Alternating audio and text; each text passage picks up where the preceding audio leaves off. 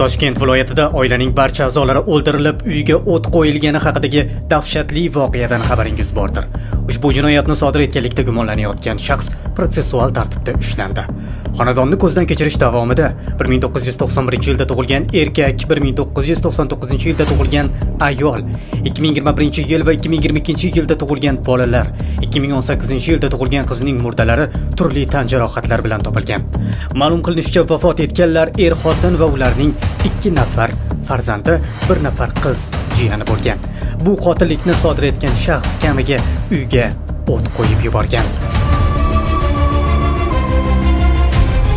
Mani suyangan tog'im ketdi. Jigarlarim go'shalarim ketdi man na bolasini na o'zini na kenayimni ham hech qanaqa hech narsa iz qoldirilmagan. Hammasini yerga qo'ydik. Amakida yurgan jigarlarim yo'q mani hozir.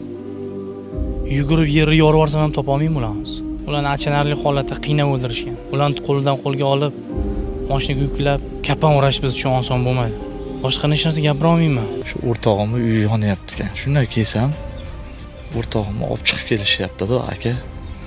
Orqasidan bolasini olib chiqib kelyapti aka. Man shu marhum yigitni sinfdoshi bo'laman. Yoshlikdan do'stiman. Kechadan beri o'zimizga kelganimiz yo'q. Boshida yong'in chiqdi deb xabar berildi. Keyinchalik aniq bo'ldiki что qotil o'zini izini yashirish maqsadida uyushtirgan shu yong'in bo'lib chiqdi. Juda og'ir musibat. Oilalariga chuqur ta'ziyamni bildiraman. Yuzini ochib qarasam o'rtog'imni yuzini tanib bo'lmaydi aka. Man shokdaman aka to'g'risi gapirolmayman yaqinda. Oyoqlarim ham qaltiryapti. Kecha janozada to'rttasini qo'yishyapti. Bolalarda nima ayb aka? Zo'r inson edi o'rtog'im. Bildirilishicha yangiyo'l tumanida 5 nafar shaxsni qasddan o'ldirishda gumonlanayotgan shaxs protsessual tartibda ushlangan olingan dastlabki ma'lumotlarga ko'ra 29 yoshli gumondor qurbon bo'lgan oilaning qarindoshi bo'lib u marhum erkak bilan o'rtasidagi qarz munosabati sababli shunday qabih jinoyatga qo'l urgan. O'sha insonlarni ham ota-ona inson tuqqandir bolasi bordir insondir shular ham qanaqa jazo bo'lsa nima bo'lsa chorasini qilishsin bitmas tugalmasga chiqmasin bori. shu qilgan odam. Hali ham shokdaman hech qanaqa bir ko'rgan narsalarim eshitgan narsalarim yonimda turgan narsalar hozir yo'q yonimda. Shu qatorda shu insonlarni topish uchun yordam berayotgan akalarga mingdan ming rahmat. Doktorlar ham nima qo'ldan kelgan bo'lsa qilib berishdi xudoga shukur rahmat shularga umri uzoq bo'lsin. Mazkur holat yuzasidan yangiyo'l tuman prokuraturasi tomonidan jinoyat kodeksining to'qson yettinchi moddasi ya'ni qasddan odam o'ldirish bilan jinoyat ishi qo'zg'atilgan. Tergov harakatlari davom etmoqda. Voqealar rivojini bizning kanalda kuzatib boring. Bismillah vassalatu vassalam ala rasulilloh va ba'd.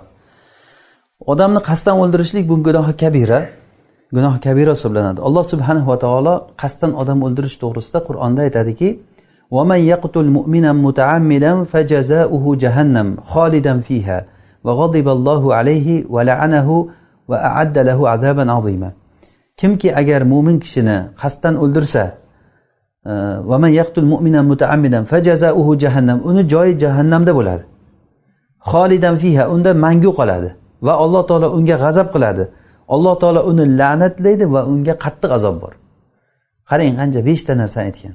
Kimki agar mo'min kishini qasddan o'ldirsa e, lahu jahannam fajazauhu jahannam uni joyi jannatda jahannamda.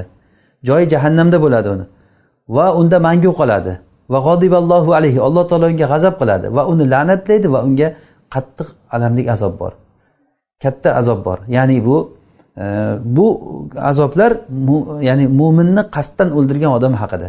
Sizlardan iltimos qilib so'ramoqchi edim. O'g'lim mahmudjonov sulton murod bir yoshi besh oylik bo'ldi.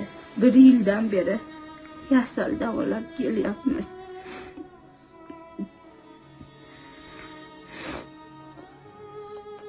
Bir yildan beri davolab kelyapmiz. Gidrosefaliya deb diagnoz qo'yishgan. Buni hindistonga olib borib davolab kelishimiz kerak ekan. Qo'li oyog'i harakatlanmaydi. O'zi bemalol nafas ololmaydi mana traxostoma degan trubka qo'ygan. Shu bilan nafas oladi. Buni tez tez tozalab turamiz. Apparatda shunga murojaat qilib iltimos qilib so'ramoqchi edim. Sizlardan shu bolamga yordam berib oyoqqa turib ketishi uchun yordam beringlar yaxshi insonlar. Sizlardan iltimos qilib so'rayman.